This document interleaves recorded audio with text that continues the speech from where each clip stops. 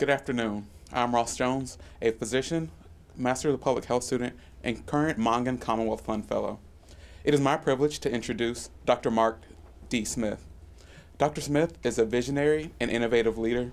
He is a noted health policy expert whose expertise is sought all over the globe. Dr. Smith holds a BA from Harvard College, an MBA from the Wharton School, and an MD degree from the University of North Carolina. In 2001, Dr. Smith was elected to the Institute of Medicine, where he chaired the Committee on the Learning Healthcare System, which created the widely publicized report on healthcare quality and innovation, Best Care at Lower Cost. In his role as founding president and chief executive officer of the California Healthcare Foundation, Dr. Smith not only spurred the foundation into a leader in the fields of healthcare quality and health policy, but his work also helped to improve the health of thousands of underserved Californians. Before I turn the session over to Professor David Williams, who will be moderating today, please join me in welcoming Dr. Mark Smith to the Voices in Leadership series at the Harvard School of Public Health.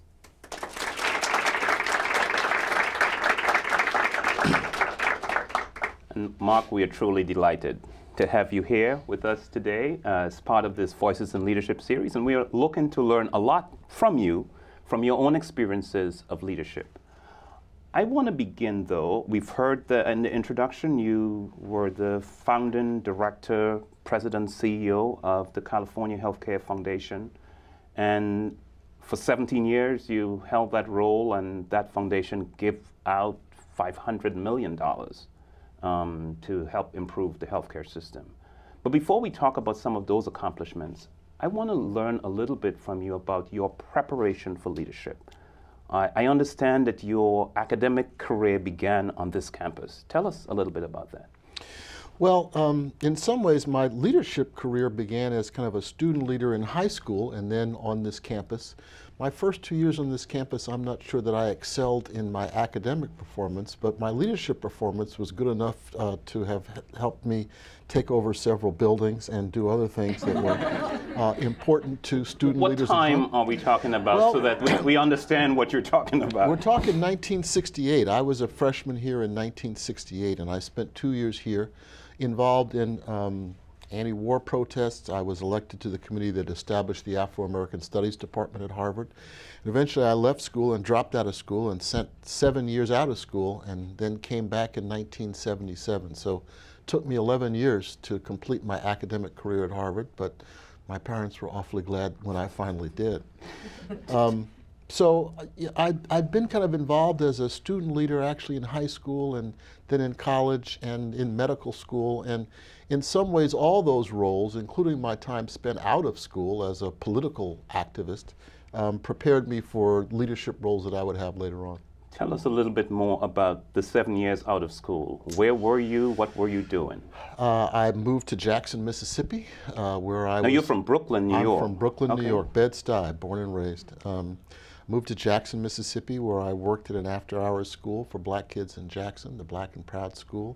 I was an activist on college campuses uh, in, in and around Jackson, and I led the first African Liberation Day demonstration in Washington, D.C. in May of 1972, protesting what were then Portuguese colonies of uh, Mozambique and Angola and Guinea-Bissau and Rhodesia and Southwest Africa. And then I worked at a textile mill for about four years. So I'm still thinking of uh, uh, a young man from Brooklyn in Jackson, Mississippi. That that must have been a cultural shock. And uh, yeah, that's one way of putting it. Um, a young man from Brooklyn who had just dropped out of Harvard living in Jackson, Mississippi. Uh, but it taught me a lot because it taught me a lot about um, the South, where I had never spent any time before, really. Uh, other than my one trip to Durham, North Carolina, which was my first taste of segregation with my father. Um, and it taught me a lot about dealing with people of all sorts, uh, people who were well educated and people who weren't so well educated. And um, uh, it served me well, I think. And are those lessons that helped you in, in your leadership role? I think so. Uh, you know, I think leaders have to be able to listen. Uh, leaders have to be able to hear uh, sometimes criticism of them. Uh, not everybody uh, uh, will uh, approach you with, with great kindness or, or approval necessarily, and you have to be able to deal with all sorts of kinds of people. And so um, that variety of experiences and exposures, I think, was helpful in dealing with people from all walks of life. So from Jackson, Mississippi, you then said you worked at a textile mill, and from a textile mill to Harvard. What what led you to leave working in the textile mill to come back to school? Well, um, let's see. I was 26 years old, working third shift uh, at Cone Mills, and I was probably making pretty good money at the time. I don't know, four dollars an hour, four fifty an hour. It wasn't bad money. I wasn't sure I wanted to be 36 working in the, in the, in a card room, and I eventually concluded that I wanted to be a doctor. And um, why did you want to be a doctor? Well, you know, that's a good question. There was nobody in my family who was in medicine. I hadn't been a candy striper in high school. I had no particular love for pathophysiology. But first, it was a helping profession. And second, I think I was interested in the kind of social and economic and uh, political uh, um, issues in medicine and in taking care of people, particularly underserved people. And lastly, frankly, having been kind of an activist and, and suffered the, the coming and going and the volatility of politics during those days, I thought at the time that medicine was based on science and was therefore immutable and would not change uh, with the winds. And so I was looking for something that kind of grounded me in something that was objective and fact and not subject to debate. And in that way, it was more attractive to me than, say, law or some other professions which had some of those attributes, but not the solidity, the certainty, the objectivity that at the time I thought medicine had. Okay, so you came back to Harvard. Yeah. They accepted you back. Yes.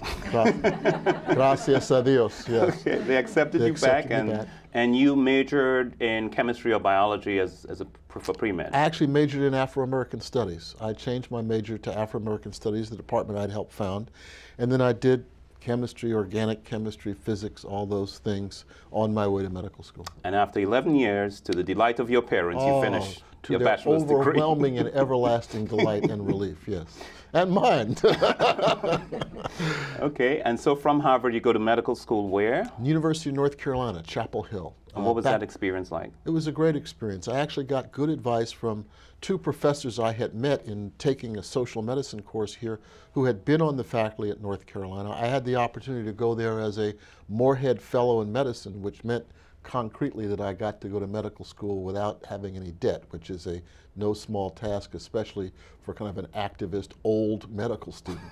Um, but they also told me because I wanted to be a primary care doctor that they thought I'd get just as good an education, maybe a better education, to be a primary care doctor at Chapel Hill compared to Harvard Medical School. If I wanted to pick apart mitochondria or uh, do those sorts. Not that they don't do that yeah. at Chapel yeah. Hill, but if that were my path, maybe Harvard would be better. And they said, frankly, you've got Harvard on your resume once. That ought to be good enough. So I went back to, to North Carolina to medical school. It was a great experience. Part of what was great about it was that the medical education system in North Carolina requires that students spend part of their clinical time away from the flagship teaching hospital in Chapel Hill and out in secondary but very good community hospitals in places like Charlotte and Raleigh and Wilmington. And they have places for students to stay, and they have faculty who are trained and paid to teach in those community hospitals. And so one got an exposure to a type of medicine which is very different from what most medical students get in kind of the mothership tertiary quaternary hospital, and that was a real plus, I think, for the education there. So, Mark, we, we follow in your career. Yeah. Afro American Studies major at Harvard, yeah. lots of experiences in between that, yeah. that help you to learn how to deal with people. You're now a physician. Where do you go for your residency training? I went to San Francisco General uh, in 1983, in part because I liked San Francisco, nice place, in part because it had a reputation of training people in. Um, in the care of the underserved, and in part for personal reasons, a family uh, to be there. Uh, and I arrived, as it turns out, at the beginning of what we now call the AIDS epidemic, okay. which at the time was mm -hmm. this uh, bizarre and inexplicable phenomenon of young men showing up with these diseases that we'd read about in books but never actually seen. So you had direct experiences like that early in your time in San Francisco? First night on call, uh, and every night after that. And what, would, what did you see? We saw young men uh, with um, infections and tumors and skin diseases that uh, were, uh, were medical oddities until just a few months before. And, and they came in droves, and it was a Holocaust. And uh, there was often little that we could do for them uh, because we were just learning how to take care of this disease. Uh, we didn't know its cause, and so frankly, all of us who were taking care of people were scared, and our wives and husbands and girlfriends and boyfriends were scared because it wasn't entirely clear how it was transmitted. And um, it was a time of great pain and would be for several years because even as we learned what caused the disease and we learned how to take care of the secondary infections and cancers, we had no treatments. Um, and so it was a wrenching time. And you played leadership roles even as a resident there. Yeah, well, I was the co-chair of the House Staff Union at San Francisco General, which meant I got the opportunity to serve on the hospital's executive committee. And that meant I got a chance to see how this institution worked in a way that very few residents do. I mean, most residents stagger in at six in the morning and stagger out at nine at night, and it's all they can do to kind of keep up with the index cards. There were no smartphones back then, index cards, and kind of flip through the patients. But I got a chance to see kind of how the levers worked in the background, and it spurred my interest in getting further training this time, not in public health. When I went to medical school, it was mm -hmm. with the intention of pursuing a public health degree. Okay. And I think I'm three courses short if there's a dean around. um, but I kind of got more interested in the management. Uh, it was a time also when, for the first time, the cost pressures of healthcare were beginning to reach down into the clinical world, and people were just for the first time saying, well, maybe our money is not unlimited. Maybe we'll, we'll cap how much we'll pay for your time in the hospital. And so it was time of turmoil, and I elected to get graduate training in management, in part because of my exposure to these issues of running a big, a big complicated institution like I, I want to come back to the management in, in, in a second, but what impact did that early exposure to AIDS have on your entire career? of treating AIDS patients? Well, for most of us, many of us, most of us who trained at that institution at that time, HIV has been an ongoing part of our careers. I still see patients. I still work no, in the no, AIDS wait, clinic. let me make sure. Yeah. You've been a CEO for 17 years, and yeah. before that, the vice president of another foundation. Yeah. You still make time to see patients? I do. Why? Um, well, first, because I like it. Okay. Uh, it gives me a certain satisfaction that um, my other work doesn't. Second, because being a physician who has some expertise in HIV, particularly a black physician, a physician who speaks Spanish, uh, there's a shortage of us in a way that there isn't a shortage of lots of other doctors. Um, uh, third, because um, HIV, particularly for people of my generation, has been this amazing journey of discovery. In part, it's been a social cause because of the people affected, because of the stigma and discrimination always associated with them. But it's simultaneously been this amazing journey of biomedical discovery. So frankly, if my clinical interest had been in hypertension, all due respect, there's not huge progress in hypertension, but the progress that we've made, what we've learned about our bodies, about viruses, about pathophysiology, and about how to treat this particular virus in the last 25, 30 years is nothing short of miraculous. And so it keeps your interest because there's, there's always new stuff. And compared to those early days, it's a miracle what we can do. But I would think that spending time seeing patients is taken away from your duties as a CEO. How do you link your involvement with patients to being a leader? Okay, three ways. First, um, being a foundation CEO, my first day at uh, at work, a, a, colleague of mine at the time said, welcome to the world of philanthropy. You'll never have a bad meal or a real friend again. and um, neither of those things is entirely true, but there's some truth to them. And so, first of all, seeing patients, it's a group of people with whom I have a different relationship. Not uncomplicated, perhaps, but a different relationship. Secondly, it gives you a window on what all this highfalutin policy stuff means to a real, actual working doctor and patient. These treatment authorization requests and network designs and all the stuff that sounds so wonderful when you're sitting around a meeting room, you know what I mean? And you actually have to live it. And thirdly, because I've spent a fair amount of my career telling doctors things they didn't want to hear. And because the first way a doctor will try to discredit you if he or she hears something they don't want to hear is to say, When's the last time you saw a patient? As if that necessarily is relevant. And if you could say, Oh, about four hours ago, it at least takes that off the table, and can have a conversation. So it's actually been, I think, internally, uh, kind of morally, psychologically useful, but it's also, frankly, been substantively useful because you get a sense of how these policy decisions work out in practice. And it's been politically useful because it gives one a certain credibility with clinicians who, like it or not, uh, feel about clinicians differently than the way they feel about non clinicians. Wonderful. So I see as I, as I think of your whole career as it unfolds, you, you now serve as a physician, you working on the, on the front of the, the, the HIV AIDS epidemic. Um, you gaining wonderful experiences. You said you got a management degree as well, which says that you're taking advantage of opportunities that you see. And then, how did you get into foundation work? Huh. Well, uh, when I finished my training, um, formal training, I went off to Johns Hopkins where I ran the AIDS clinic. I told you HIV part of my career. So I'm at Hopkins, I go as an instructor, I get promoted, I'm writing grants and papers and running the clinic. Good academic. A good, well, um, fair academic. Um, and then an old colleague um, and friend, someone I knew both professionally and personally, uh, Drew Altman, was uh, named the new president of the Henry J. Kaiser Family Foundation and came calling to see if I would like to move from Baltimore back to the Bay Area to work at a foundation. So the first thing you hear is Baltimore to the Bay Area. That sounds like a good idea. but also, um, it seemed to me that this might be an opportunity to have an impact and learn and do stuff that um, my job, as much as I liked it at Hopkins, did not. And actually, a number of my mentors and rabbis at the time told me it would be a big mistake. First, because they said, oh my God, if you, you're at Hopkins, you got an earring, but you're at Hopkins. And so if you ever get off this academic track, you'll never get back on. Like that would be the worst thing in the world, right? But secondly, I think their vision of working at a foundation was that it was something you did after you had been the dean or the provost.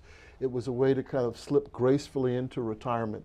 Uh, and give money to your friends and sip a little sherry along the way and kind of uh, ratchet down. But I knew Drew, and Drew was not about ratcheting down. And frankly, I said it was something of a leap of faith because I had not worked. I had worked for foundations, but never at, at one.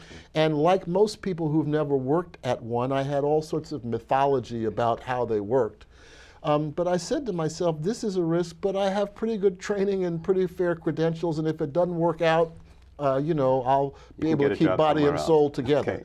Uh, and so I took that leap and um, actually found that I loved the work and enjoyed so it. So, what work did you do at the, at the Kaiser Foundation? Well, um, the three things that I did most of were HIV policy, okay. on a national level. We see that golden thread of HIV running yep. through. Uh, reproductive health policy, um, and what we call the healthcare marketplace. This was the early 90s. It was the beginning of what we now call managed care.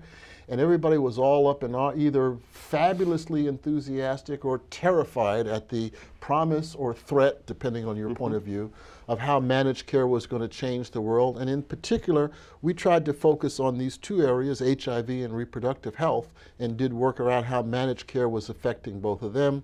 We also did work uh, in a number of policy areas in this country and actually internationally in South oh. Africa as well, oh. under the leadership of Michael Sinclair, who's now here. Um, so we did a wide variety of things, and actually part of what I liked about foundation work is the fact that to do it well for the most part, particularly at the senior level, you have to pretty, be a pretty good generalist, which is to say, um, as opposed to academia, where the rewards really are going very deeply into a, a narrow area, in foundation work, particularly at a leadership level, you've got to know when you know enough to do what you have to do and then move on, or find people who have that expertise as opposed to being able to be an expert in everything yourself. So I kind of like that. It's wonderful. And from Kaiser, you then moved on to be the founder of the California Healthcare Foundation and its leader, and you held that position for some 17 years. Tell us a little bit about your work um, at the California Healthcare Foundation, and maybe some of the initiatives. I mean, you are known for innovation, and, and that foundation is known for innovation in, in healthcare. Tell us of some of the initiatives that, that you developed and directed um, at the foundation that you're most proud of. Okay. So first, one slight correction. I'm not the founder. I wish I had had 500 million to just drop in the bank, but founding president. Founding Actually, president, okay. Blue Cross and the state of California and the people of California were the founders. And in some ways, this foundation, like some others, is different from many foundations that we know because it doesn't bear someone's name. It's okay. not General Johnson or Mr. Rockefeller or Mr. Ford. It is one of the one of the examples of the creation of these new pots of assets from the conversion of not-for-profit organizations to for-profit organizations. So, you know, I was the first employee, and that meant we had a, a mission statement and um, a brokerage account and a terrific first board of directors. Brokerage account with how much money? Well, um, it actually held stock in a company called WellPoint Health Networks, and my first job really was to figure out how to sell the stock and then sell it, and then transfer 80% of the proceeds to our sister foundation, the California Endowment. It's complicated, but in the end. But but but I see there not your medical training, but your management training playing a role with looking at this money and trying to decide how you well, yeah, that's part of what was interesting to me, and frankly, that's part of why I think the board looked at me and my resume and said, "Hey, here's somebody who could do these things," because they thought having an MBA from Wharton meant you knew something about Wall Street, whether you did or not. So in the end, um, our monetization produced about two and a half billion dollars. So two billion went to the California Endowment, and half a billion came to us, and that's what we started with. Um, so over those 17 years, uh, I, with a terrific group of colleagues, built an organization that I'm very proud of and I think has made contributions. I'll give you three programs okay, that I think are, are relevant. First is the CHCF Leadership Fellows Program. We're here talking about leadership. Yes. When I ran the AIDS clinic at Johns Hopkins, I would often wake up terrified that someone would realize that I was a fraud and didn't know what I was doing.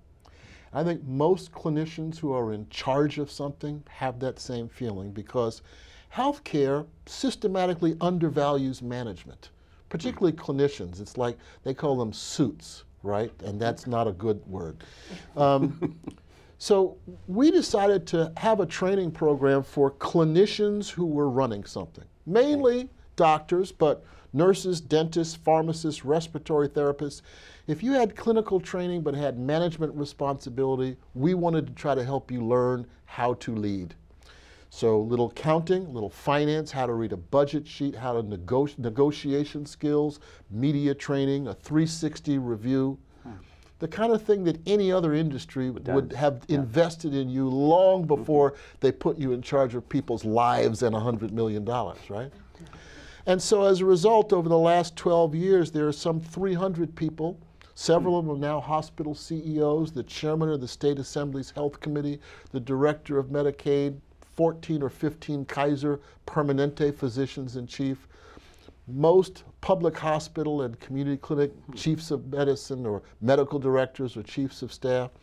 It's been a terrific program giving people support who are in the trenches trying to do all these things that we write about that the healthcare system should do. Before you give us two other examples, yeah. can you give us a concrete sense of how a different approach to management can change day to day how medicine is practiced? Yeah. Um, I don't want to be pejorative here, but the medical enterprise is 10, 15, 20 years behind many other industries in hmm. terms of the sophistication of the management of both the physical and economic and particularly human resources that we have at our disposal. So I've become a big fan of lean in the last few years. And when you see people who have studied lean, lean, lean? lean management, it's a management okay. technique that comes from the Toyota production system. And it's here's the thing it's not instinctive. There used to be a day when if you were a doctor and you were smart, we'd put you in charge of a hospital or in charge of a public health department. And those days are really over. Our institutions are way too complex for people to manage by instinct and experience and empirical.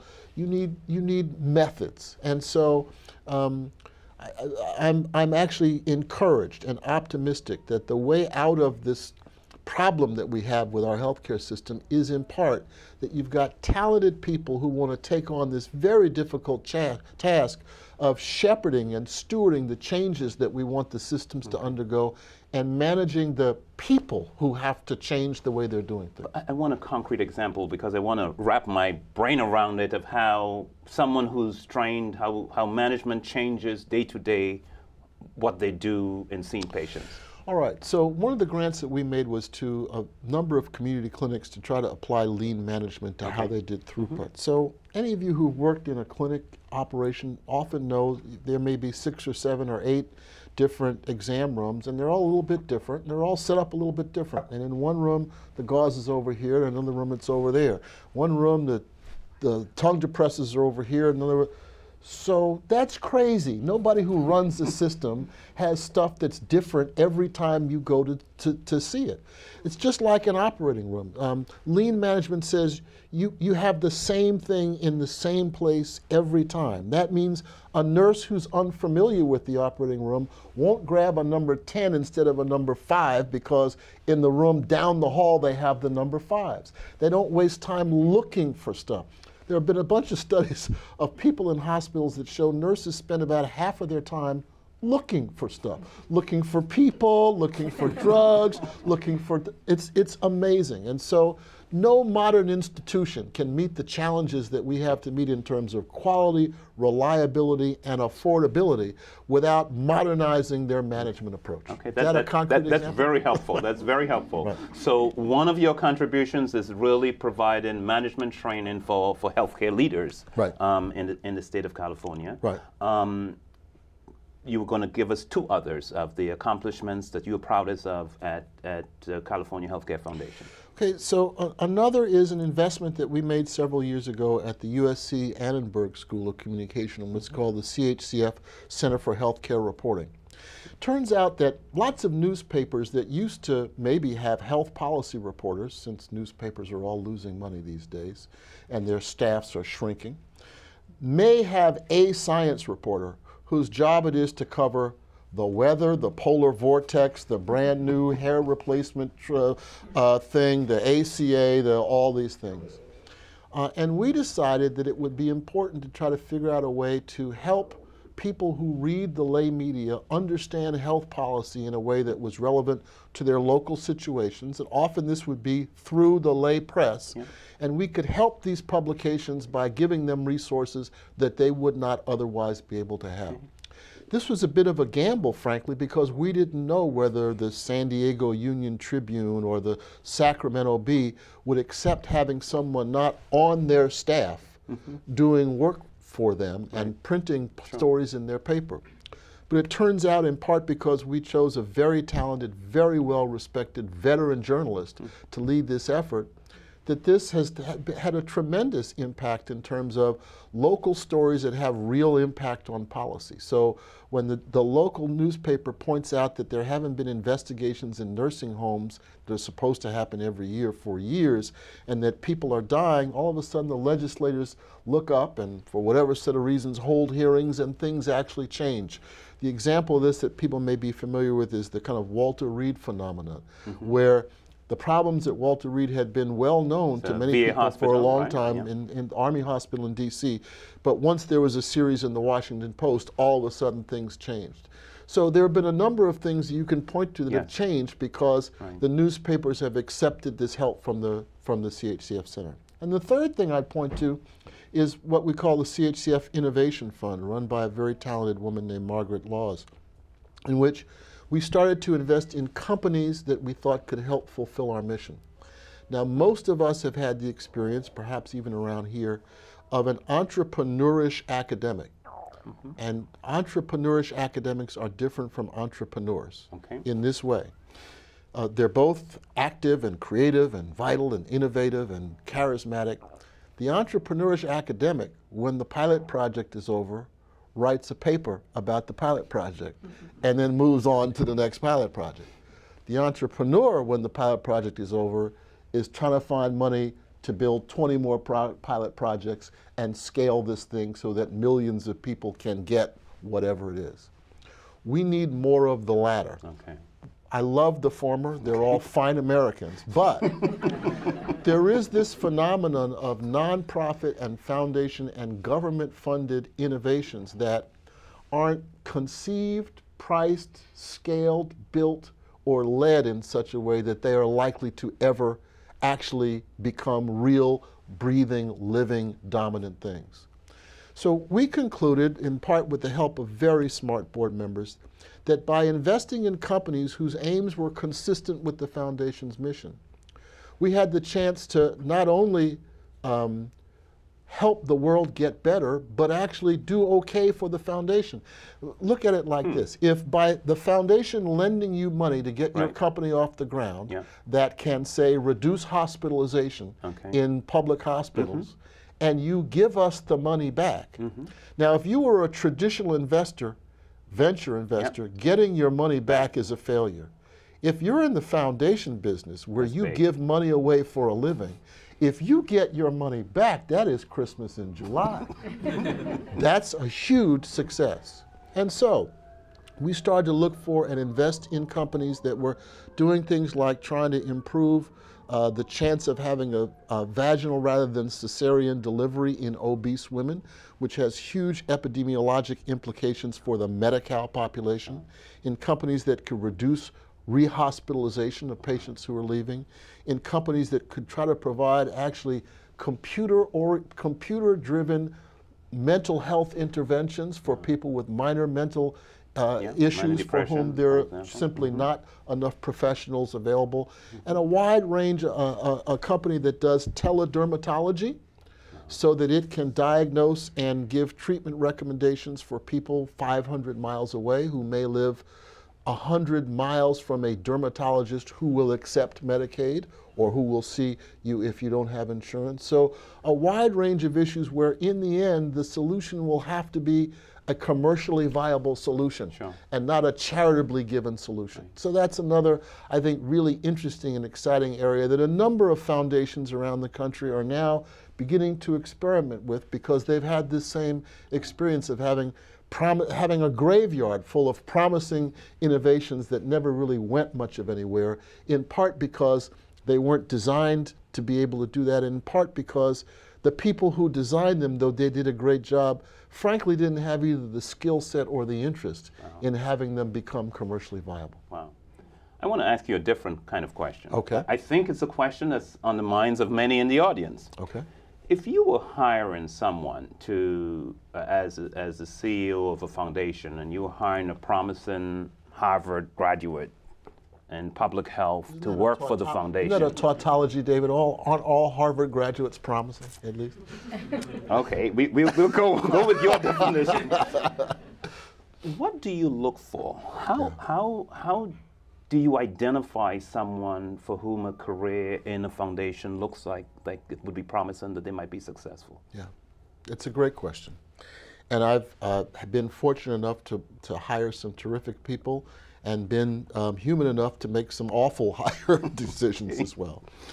I think the people who do best in foundation work are people who actually have certain breadth and variety of experience. By no, which no, I'm, no, I'm, i just want to make sure I'm hearing this clear. You're not saying specialization.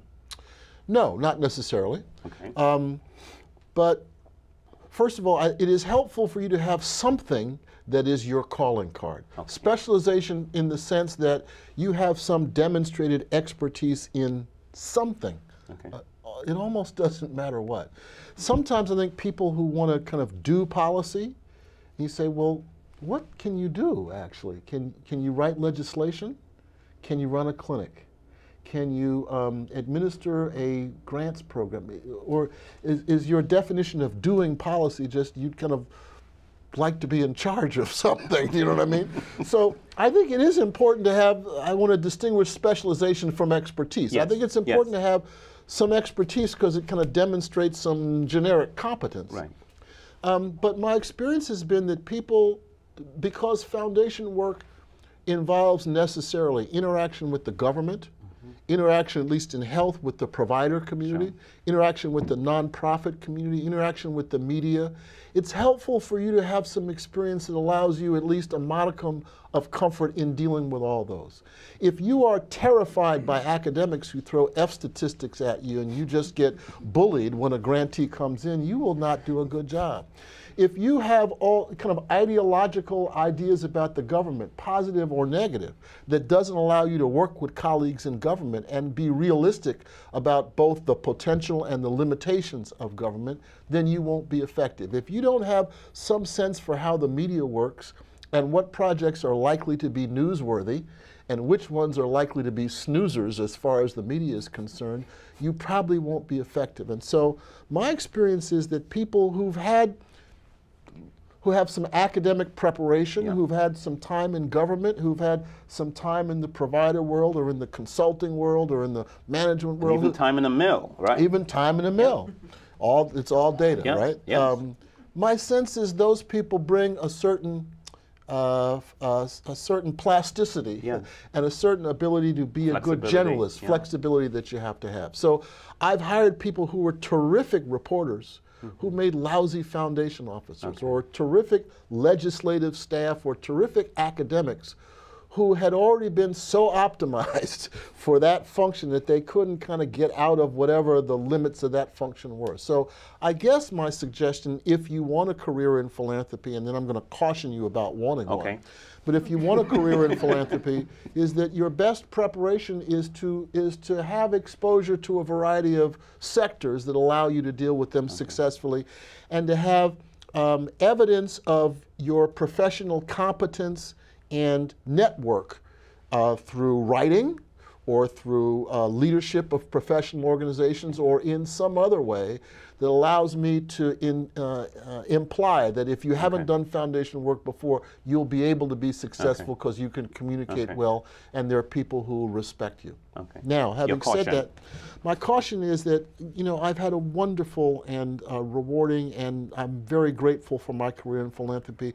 It's not something that I started off planning. It's not like I sat there and said, "Hmm, a foundation job." And frankly, the number of jobs in foundations is really vanishingly small. So compared to the number of jobs in public health departments or provider systems or even academic institutions. So there's a fair amount of luck involved, as there is in most professional mm-hmm. success, even more in foundations because the N is just that much smaller. So in my career, there's a fair amount of happenstance of who I happen to know and where I happen to be at the right time. And sometimes that will come together for people, but I'd, I'd be cautious about having your heart set on doing this, which is not, if you think it's the right career, that you shouldn't strive to do it.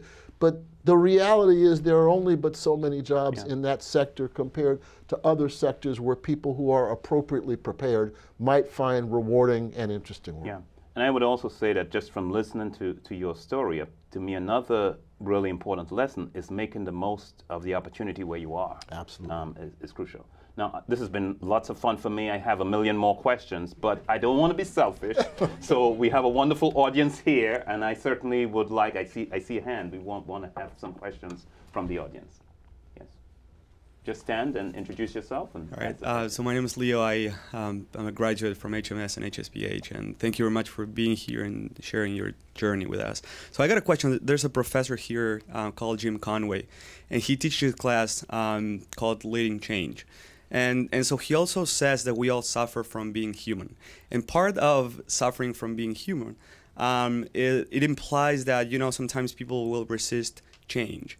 And so I would like to see your, you know, your opinion and your insights on how did you deal with people who were resistant to change, and what are some tips for us, you know, who will go out there to the world and try to change things? Yeah. First of all, I know Jim Conway well and have great respect for him. He was a member of the committee on which I served. Um, and he's right. And pe people um, don't change um, easily sometimes. So I don't know that I have any great um, that I have any great searing lessons. There's a lot of written on this. I, I, I think it is worth going back to this this issue of listening. Um, so often, I think we start from what our priority is rather than the priority of the people that we're working with. And often, my experience has been that if you at least understand what it is somebody wants to hold on to, you have a better shot of understanding how you can get them to let it go, in part because maybe you can give them something that substitutes. So I'll, give you an example from yeah. lean work. So uh, this lean thing doesn't come easily to many doctors. And sometimes what you hear is, my patients aren't cars, my patients aren't widgets, they're all individual, get out of here with that management nonsense. Some colleagues at Virginia Mason Medical Center in Seattle who lead the primary care work said they knew that their colleagues had bought into the method when the method was able to solve a big problem for primary care docs, which was at 5 o'clock in the afternoon, they were done. Most primary care docs, 5 o'clock in the afternoon, your day has just started. You got a pile of phone calls to return and refills to do and things to check off and authorizations and all that kind of stuff. And by establishing a method that was able to feed the doctors these little snippets in little interstices in their schedule, bit by bit during the day, Five o'clock, when their last patient was done, they were done. So now that's not why they established the method. They established the method principally to kind of regularize and improve patient care. But by trying to figure out what problem you have, how I can solve your problem along with my problem, I can get you to buy into what it is I want to do. So I guess, again, I don't know if this is any brilliant insight, but if you want someone to change, you must have some reason for wanting them to change you might want to start with, well, what problem might you solve for them?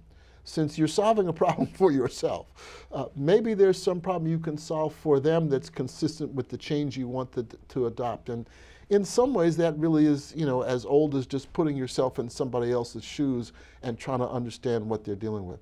I have another example. I don't want to go on too long, but this is this leadership thing, and yes. doctors were sure. at this very uh, strange point, I think, in history and healthcare.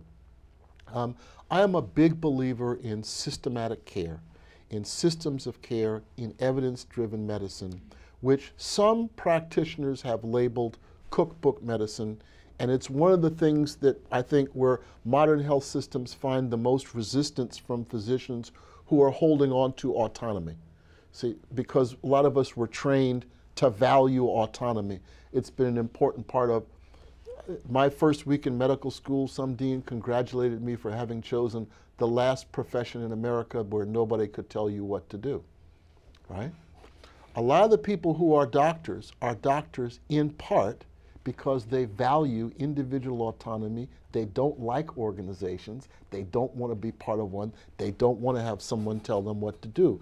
So it's part of their DNA and it's an attribute of their profession that they cherish.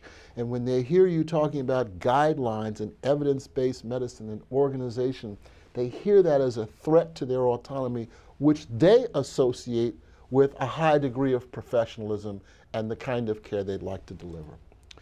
And I think as opposed to just telling them they're wrong, get over it, go away, you, you might say, so I understand why you uh, feel that way. That's the way we were trained, and I understand and value and celebrate your desire to feel personal accountability and responsibility for the care your patients receive.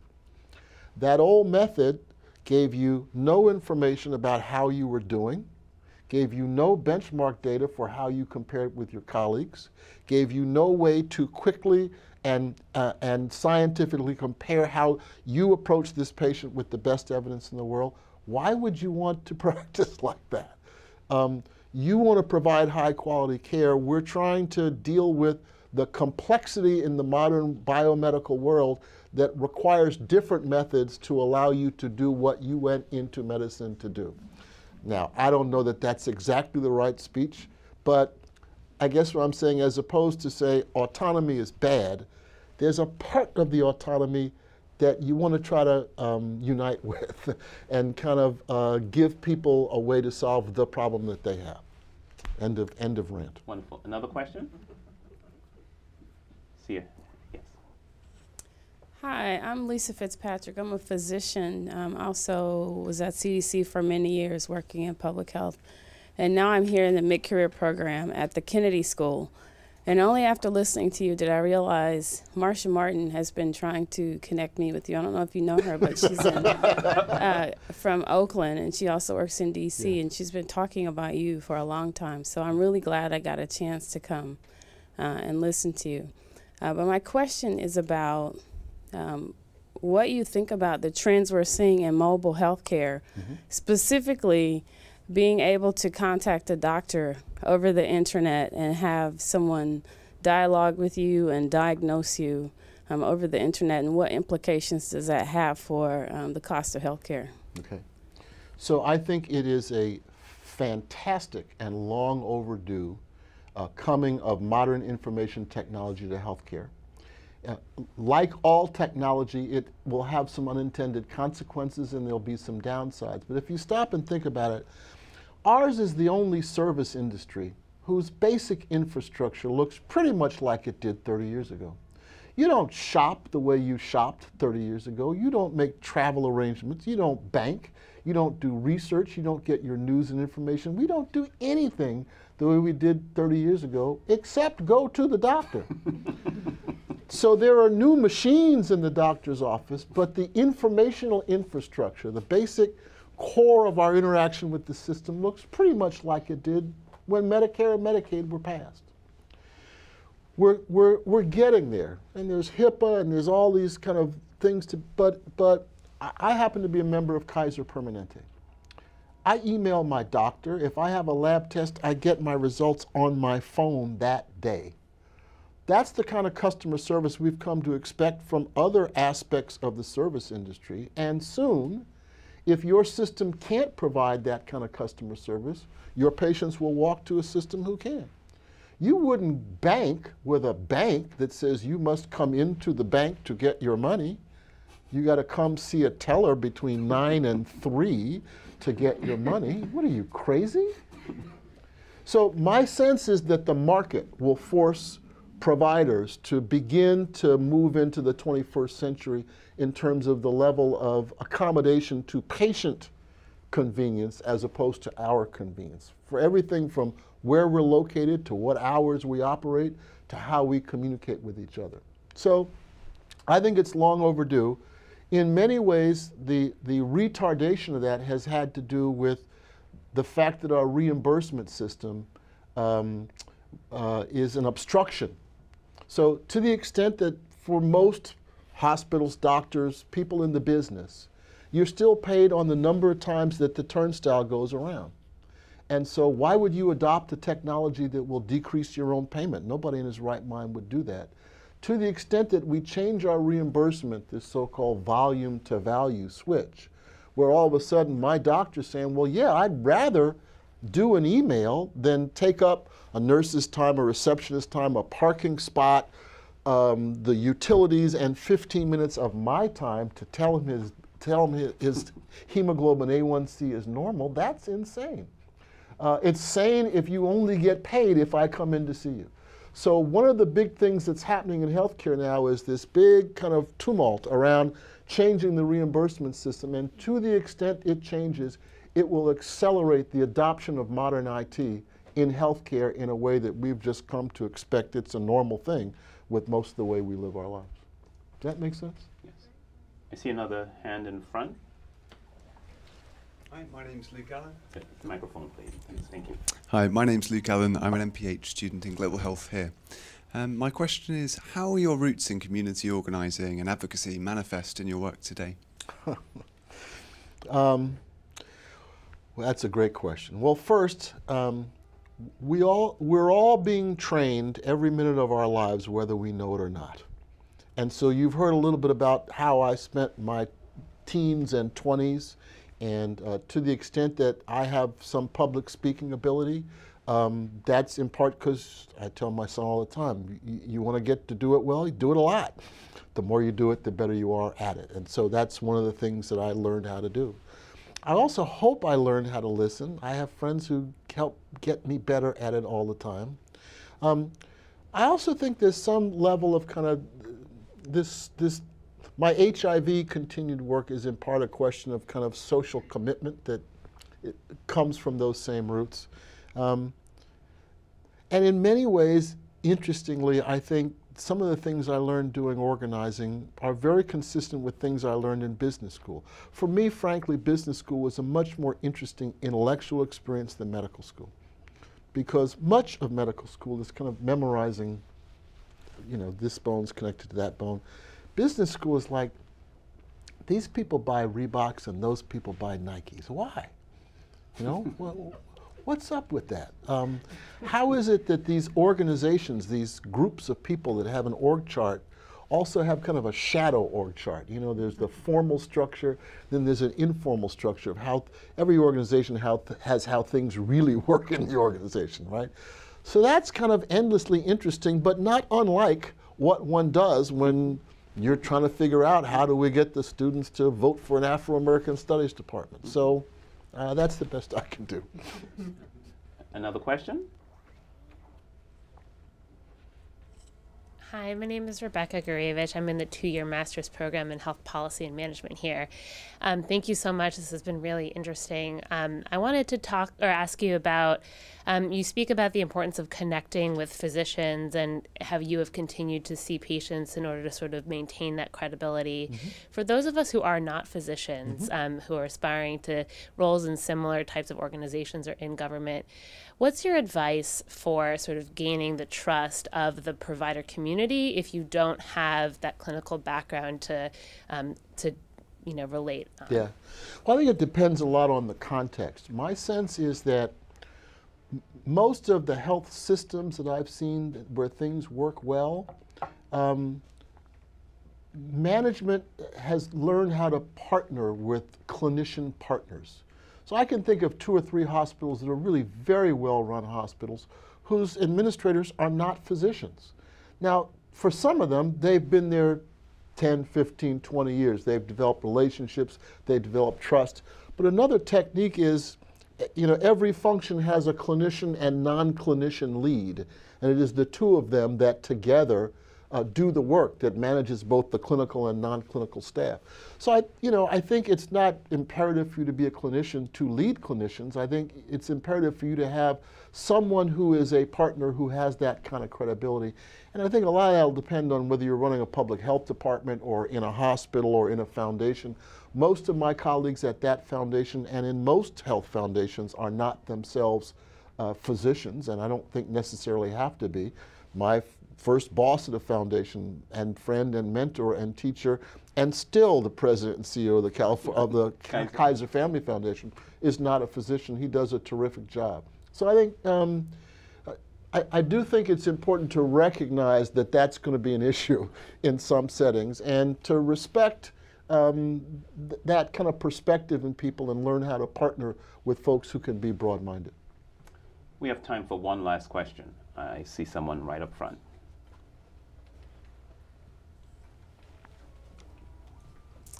Hi, Anne Elrington. I'm at the School of Public Health. I'm also a Mongan Commonwealth Fellow in Minority Health Policy. I'm an OB-GYN at the core, and therefore I wanted to ask what parameters were you able to decipher to move forward to uh, safety for the uh, morbid uh, pregnant gravid. Ah. you didn't talk about that, and I want to know I'm where we to. are with that. It's um, one of the lessons of venture investing is that most of your investments will fail and that's one that failed.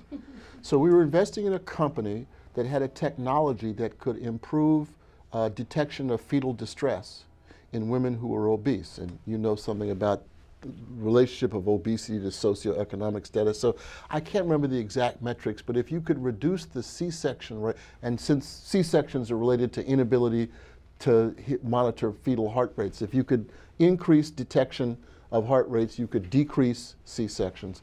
I can't remember the exact statistics, but it was something like if you could reduce the C-section rate in Medi-Cal deliveries in California, you'd save $50 million a year, some amazing number. And so we made an investment in a pre-FDA technology, which failed. Sorry.